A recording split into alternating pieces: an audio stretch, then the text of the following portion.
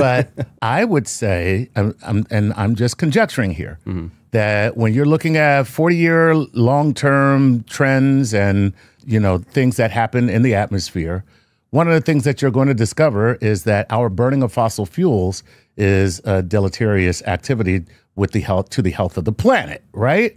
So could it be that if I wanted to support the multi multi billion dollar industry that pays me a lot of money, could it be that if I wanted to support them, I would get rid of that information?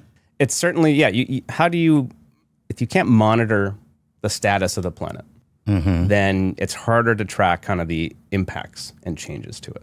Now it's this type of stuff again. It's I wouldn't necessarily even make it that strong of a one to one connection. Okay, there's, there's a deeper that political. well, I think, it, but it's it's fair. There's a there's a deeper aspect of this that's certainly part of that motivation. Earth science isn't even the thing that's cut the most. I mean, so that's where I was saying there, there's something kind of going beyond this. What is cut the most? Astrophysics. Astrophysics. Yeah, like the actual, like just looking so out